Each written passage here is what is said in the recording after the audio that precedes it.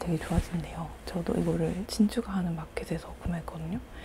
근데 근데 마켓을 하는 그 진주의 피부에서 엄청 광이 나는 거예요. 그래서 아 이건 안 살 수 없겠다 해서 저도 바로 3개월치 질렀던 것 같아요. 하루에 한 잔씩 이렇게 되도록이면 커피 대신 뭐 물 대신 먹으려고 하고 있는데 먹고 나니까 확실히 피부가 속광부터 차오르는 뭔가 그런 게 있어요. 레티놀은 마시는 걸로 강추드립니다. 미세하게 레모네이드가 스치는 맛? 근데 막 그게 너무 강한 신맛도 단맛도 아니어가지고. 여기 이 패드 안에다가 이 앰플을 아까 뿌려놨잖아요. 그래서 그런지 되게 오랫동안 진짜 피부에 착붙해서 붙어있어. 붙여놓고 움직이다 보면 좀 마르고 뜨게 되어 있는데 아직까지 너무 수분감 있게 촉촉하게 잘 붙어있습니다.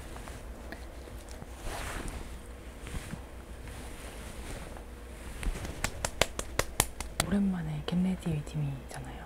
그래서 뭔가 최근에 제가 예뻐지기 위해 했던 방법들의 총 후기를 한번 가져와 봤어요.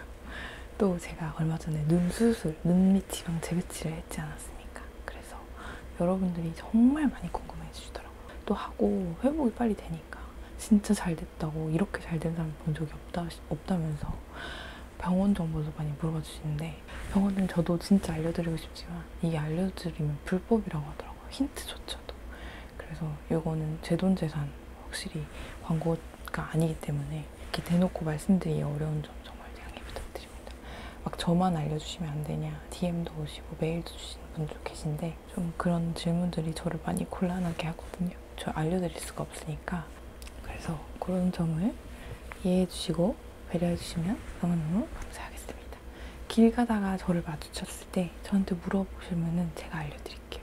그렇게는 알려드릴 수 있지 않을까. 뿅뿅 잡혀가면 안 되니까.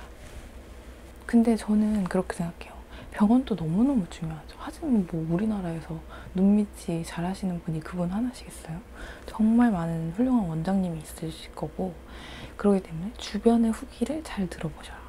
눈 밑이가 생각보다 정말 많이 하시는 수술이더라고요. 사실 이게 막 얼굴을 변형시키는 대단히 뭐 없는 거를 있는 것처럼 막 이렇게 만들어가지고 뚜렷한 효과를 내는 그런 수술이 아니잖아요. 진짜 말 그대로 재배치를 해서 인상을 조금 깔끔하게 해주고 안색을 조금 밝게 해주는 그런 수술이다 보니까 정말 많이 하시는 것 같은데 주변에서 잘 하시는 분들을 따라가시면 돼요. 저도 그렇게 갔거든요. 언, 친언니의 추천으로. 친언니도 또 다른 지인분의 추천을 받아서 한 병원이었어요. 때문에 훌륭한 원장님의 소식을 들었다 하면은 그쪽으로 가시면은 좋은 결과를 나가실 수 있을 거예요. 그리고 그것보다 중요한 게 사후 관리예요. 정말 정말 중요한 게. 왜냐면 제가 그 부분을 정말 잘하고 열심히 했기 때문에 회복이 빠르고 만족감이 높았던 것 같거든요. 그래서 그런 썰들을 오늘 한번 이 출근 준비를 하면서 풀어보도록 하겠습니다. 먼저 요즘 바르는 기초템을 소개해 드려볼게요. 아까 제가 어, 붙였던 패드는 이 벤튼의 구아바 패드예요. 벤튼 구아바 패드는 워낙 유명하죠. 얇고 팩처럼 얼굴에 착 붙여서 쓸 수 있다는 걸. 아침에 준비할 때는 패드를 붙이고 있는 편이기 때문에 이렇게 얇은 패드를 종종 사용하고 있어요.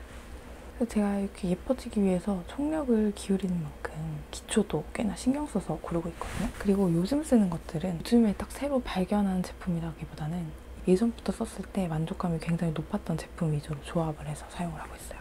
그리고 아까 그 패드 안에다가 제가 슬쩍 주입을 했던 이 앰플들 요즘에는 이 앰플 두 개를 사용하고 있는데 둘 다 앰플엔 제품이에요. 하나는 블레미샷 앰플 요거는 좀 기미나 주근깨를 밝게 해주는 brightening 효과가 있는 그런 제품이고 이건 세라마이드샷 앰플인데 피부 수분을 보충해주는 그런 역할을 하고 있어요. 요거 두 개를 조합해서 발랐을 때 저는 너무 잘 맞거든요. 아마 제가 예전에 쇼츠, get ready 준비하는 쇼츠부터 봐주신 분들은 아시겠지만 그때부터 제가 진짜 앰플엔 제품을 발라왔다는 거를 아실 거예요. 그때부터 정말 잘 사용하고 있고 앰플을 그렇게 열심히 바르지 않았던 때가 있는데 어, 피부에 비상이다. 이거 앰플을 좀 발라야 된다 했을 때 무조건 찾게 되는 앰플이 앰플앤이었어요. 그래서 이거 둘다 다른 기능이라서 같이 발라주시면 굉장히 좋습니다. 먼저 이 블라미샤 앰플을 좀 발라볼게요. 맞다. 그리고 이게 되게 신기한 게 뭐냐면 이 케이스예요. 이렇게 케이스가 이렇게 원래는 생겼어요. 근데 이거를 탁 풀면 이렇게 튀어나오거든요. 근데 얘가 스포이드 역할을 하는 거예요. 이 안에 앰플이 없다가도 눌렀다가 하면 여기 앰플이 딱 들어가는 거죠. 이런 패키지도 좀 되게 기발하고 어, 되게 재밌잖아요. 이거 일상생활에 주는 작은 즐거움 이런 것들이 너무너무 더- 더 재밌게 잘 쓰고 있는 것 같아요. 앰플을 이렇게 발라줘요. 되게 묽고 우유 같은 그런 제형이에요. 이 블레미샷 앰플은 색소 침착이 있을 때 사용해주면 좋은 잡티 케어 제품이에요. 사용 7일 만에 눈에 띄는 개선이 가능하다고 해서 7일 잡티 앰플로 유명하더라고요. 작년에 앰플엔 제품을 딱 이렇게 두 개 구매를 해서 사용해봤을 때 그때 피부 컨디션이 미쳤었거든요. 그래서 요즘에 앰플 사용에 좀 소홀했던 것 같아가지고 요즘에 이 두 개를 열심히 발라주고 있는데 또 하나 로션 조합도 있거든요. 그건 이따 설명드릴게요.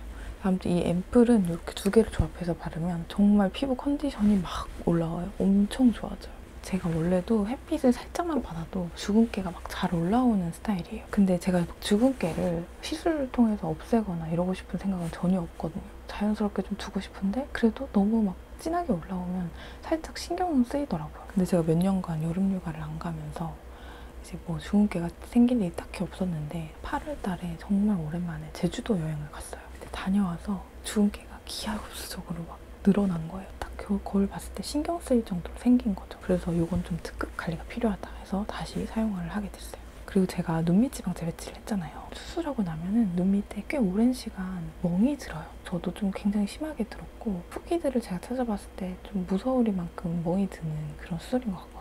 근데 이 멍도 그냥 방치를 하면은 색소 침착이 안 좋다고 하더라고요. 특히나 뭐 얼굴에 든 멍이잖아요. 그래서 이것도 좀 관리가 좀 면밀하게 필요하겠다. 이왕 수술한 건데 잘 관리를 해서 끝까지 좀 예뻐지면 좋잖아요. 그래서 이런 잡티 개선, 색소 침착에 좋은 그런 걸 완화해주는 앰플을 사용하게 됐어요. 근데 진짜 예전에도 사용해봤지만 제가 이거를 사용한 7일 후에 얼마나 개선됐을지 궁금해가지고 한번 기록을 남겨놨거든요. 근데 피부 잡티들이 진짜 확실히 좀 눈에 흐려지고 맑아진 게 보이더라고요. 이 블레미샷 앰플은 우리가 햇볕을 쐈을 때 피부에 생성된 멜라닌을 분해시켜가지고 거뭇거뭇하게 색소 침착이 된 부분을 맑게 해주는 멜라케어라는 성분이 들어있대요. 그게 특허 성분이라고 하는데 이 안에 들어있는 거죠. 그리고 식약처에서 인증한 미백 기능성 원료도 식약처 허용 기준으로 최대 함량이 함유되어 있다고 해서 아주 잡티 케어에 필요한 필수적인 요소가 꽉꽉 들어있는 거예요. 실제로 여러 가지 색소 침착, 피부결, 피부 겉속, 기미수 등의 임상 실험을 거쳐서 효과가 있음을 증명한 제품력을 가지고 있다고 해요. 근데 이거 사용하고 기분 탓인지 모르겠는데 이렇게 얼굴에 막 광이 도는 거예요. 알고 보니까 피지 조절이랑 매끈한 피부결 케어에도 효과가 있는 게 맞대요. 어쩐지 진짜 앰플엔 제품이 저한테 잘 맞는 것도 분명히 있겠지만 너무 알차게 피부 개선에 좋은 원료들이 진짜 잘 들어가 있다는 느낌을 받았어요. 이 블레미샷 앰플이 7일 앰플이라고 했잖아요. 근데 3개의 7가지 주요 포인트가 있다고 해서 777 앰플이라고 불리더라고요. 첫 번째는 사용 7일 만에 피부결이 개선이 되고 두 번째는 잡티 케어에 좋은 7개의 유효 성분이 함유되어 있고 세 번째는 색소 침착이나 자외 흔적 같이 그런 걸 개선해주는 맑고 매끈한 피부를 만들어주는 7건의 임상 결과를 완료했다 해서 777 잡티 케어래요. 멋있죠? 저는 이거를 먼저 바르고 그 다음에는 이렇게 수분 케어용 세라마이드 잣 앰플을 같이 발라주고 있어요. 여름에 특히 자외선으로 저희 피부가 푸석해졌을 거 아니에요? 그런 피부에 이렇게 피부 장벽을 완화해주는 앰플도 사용해주면 좋더라고요. 특히 이렇게 두 개의 제품을 같이 사용을 하면 피부 컨디션도 훨씬 올라가고 두 개의 시너지가 장난이 아니에요. 그래서 앰플은 두 개 이렇게 집중적으로 요즘에 발라주고 있습니다. 사실 찐으로 좋은 이유는 또 하나가 있어요. 가격. 어, 저희가 백화점 브랜드에서 이런 효과에 이런 성분이 들어있는 앰플을 사려면 정말 비싸단 말이죠. 근데 이거는 진짜 가격대가 너무 합리적이에요. 원래도 이게 가성비로 느껴질 만한 가격대거든요. 전혀 부담이 없이 마구마구 편하게 쓸 수 있는 그런 가격대인데 이게 이번 9월 올리브영 세일에서 올영 pick 제품으로 선정이 됐대요. 역시 다 똑같이 느끼나 봐요. 그래서 엄청난 할인이 들어갔다고 해요. 50ml 원 플러스 원 기획 세트가 27,400원. 진짜 엄청나죠. 9월 5일부터 9월 30일까지 올영 세일 기간 진짜 꼭 챙기세요. 원 플러스 원. 그리고 여러분도 7일 만에 기적을 느껴보시고 꼭 후기를 남겨주세요. 저도 궁금해요. 저만 그렇게 느끼는 건지. 이 앰플은 세라마이드 색까지 이렇게 마무리를 해주면 여기에 또 하나 궁합이 좋은 그런 제품이 있어요. 이 액토인 크림. 독일 크림? 독일에서 생산이 된 건가 봐요. 웬만해서는 이제 30대 중반이 들어선 저한테 즉각적으로 반응이 오는 화장품이 잘 없어요. 그저 그냥 꾸준하게 잔잔바리로 저의 뭔가 다른 기타 관리들을 받쳐주는 아이템으로 생 각을 하고 있고 즉각적인 효과를 기대하지 않지만 액토이는 이런 앰플 정말 영양분 있는 앰플이랑 함께 했을 때 피부를 정말 예쁘고 촉촉하고 탄력 있게 관리를 해주는 것 같아요. 저는 이렇게 앰플을 충분하게 발라주기 때문에 로션 양을 많이 하지 않아요. 살짝만 발라주면 여러분들도 이거 세 개의 조합을 사용해보세요. 진짜 만족하실 거예요. 그리고 오늘은 제가 예뻐지는 방법을 공유 드리는 그런 주제인 만큼 직장인의 한 9시간, 10시간 그 이상 피부가 무너지지 않는 베이스를 알려드리려고 하거든요. 기초 케어가 끝나면 베이스 메이크업을 해주기 전에 이거를 발라줘요. 연작의 Skin Perfecting Protective Base Prep. 진짜 좋더라고요. 화장하기 전에 피부에 겉막을 하나 씌워준다는 느낌? 그래서 피부 결이 엄청 좋아 보여요. 모공이 거의 없어지는 그런 느낌이거든요. 이 정도, 이 정도로 짜서 앰플 제형이나 기초 제품처럼 되게 촉촉하고 그렇게 크게 답답함도 없어요. 발라주고 그리고 요즘에 사용하고 있는 메이크업 베이스는 이거예요. 샤넬의 Hydrating Brightening 메이크업 베이스 이렇게 흔들어서 물 같은 제형이거든요. 이렇게 흐르는 이런 제형인데 이게 그 선스크린 효과도 있어가지고 선크림을 요즘 이걸 바르면 따로 바르지 않아요. 제가 얼마 전에 올리브영에서 구매한 아이템인데 이 댕댕이 브러쉬 에이스프아의 베이스 브러쉬인데 이렇게 댕댕이 같은 털 질감이라고 해서 이렇게 댕댕이 브러쉬라고 한때 불렸었죠. 이게 한때 유행이었거든요. 근데 요즘에는 좀 많이 안 쓰시는 것 같더라고요. 근데 정말 좋았던 기억이 나서 생각이 나서 찾아보니 다행히 아직까지 판매를 하고 있어가지고 이번 세일에 샀습니다. 여기에 어뮤즈 Jelly Master 쿠션을 발라줄게요. 요즘에는 쿠션이 이렇게 스펀지 형태의 머금은 느낌이 아니라 이렇게 나오더라고요. 태양 그물망 안에 파운데이션을 머금고 있는 그런 형태의 이런 쿠션이 많이 나오는 것 같아요. 그래서 어뮤즈에서도 이런 쿠션이 나왔다고 보내주셔가지고 요즘에 쓰고 있는데 어뮤즈 쿠션 진짜 너무 잘해요. 너무 만족하면서 쓰고 있어요. 이거를 이렇게 여기 브러쉬에 묻혀줍니다. 얘를 이렇게 쓱 이렇게 바르는 거야. 진짜 편하죠? 편하고 이게 진짜 이 미세모가 장난이 아니에요. 이 미세모가 정말 미세하게 촘촘하게 베이스 메이크업을 발려주기 때문에 이런 모공, 모공 부분에도 잘 발리거든요. 그래서 이렇게 하면은 9시간, 8, 10시간도 끈 적이 없다. 야근까지도 딱히 수정 안 해도 너무 완벽한 그런 피부를 유지할 수가 있어요. 제가 반만 한번 발라보고 있거든요. 너무 차이 나잖아요. 진짜 블러 처리한 것 같죠? 오늘은 정말 제가 아낌없이 꿀조합을 알려드립니다. 그래서 저는 그 수술 후에 정말 많은 관리들이 있겠지만 제일 중요하게 생각해야 되는 게 붓기랑 이런 색소 침착에 대한 그런 관리라고 생각을 했어요. 그래서 몇 가지 진짜 총력을 기울였던 그런 관리들이 있는데 수술 후에 해보신 분들 아마 아시겠지만 안대를 주세요.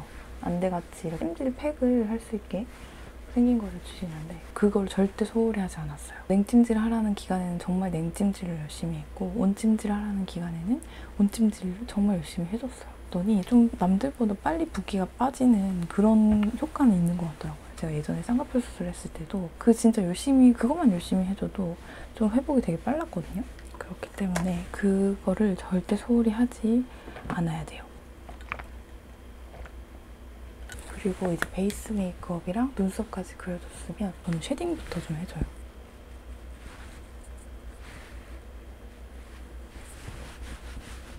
이거는 데이지크의 데이지크 shadow 팔레트 13 cool blending. 눈두덩이 전체에 발라줘요.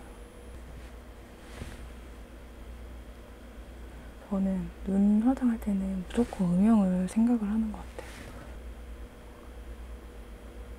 그리고 밝은 색 아이섀도를 이렇게 눈에 밑에 발라줍니다.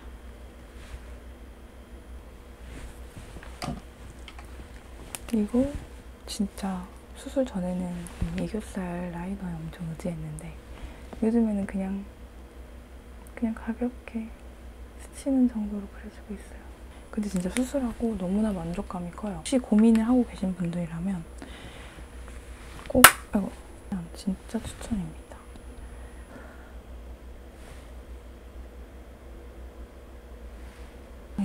속눈썹 3단계 알려드릴게요. 제가 속눈썹이 진짜 짧거든요. 굉장히 짧습니다.